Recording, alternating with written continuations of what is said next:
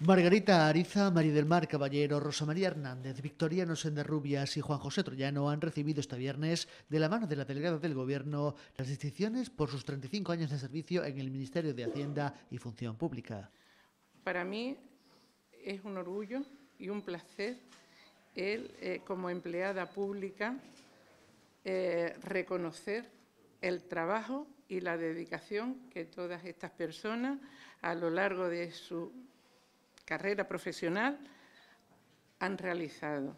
Salvador Mateos ha repasado las cualidades necesarias a su juicio para ejercer la función pública y que considera que estos funcionarios poseen. La función pública también es una vocación, una vocación de servicio que requiere de la debida discreción, de una profesionalidad que ya habéis demostrado y de una constante renovación.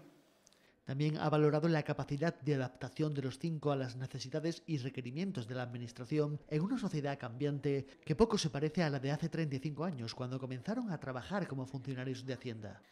Los tiempos cambian y la Administración, lógicamente, también cambia. Nada tiene que ver eh, cuando empezasteis eh, a trabajar a lo que estáis realizando en, en estos últimos tiempos. Eh, como quien no quiere la cosa, han pasado 35 años. La delegada ha agradecido a todos el servicio realizado a lo largo de los años durante la ceremonia de entrega de las medallas. Quiero agradeceros vuestra dedicación, vuestro desvelo y la capacidad de servicio. Soy un ejemplo para todos y todas, especialmente para los jóvenes que están empezando ahora. Sois personas con una amplia experiencia, y os seguimos necesitando. Hay que continuar con el trabajo.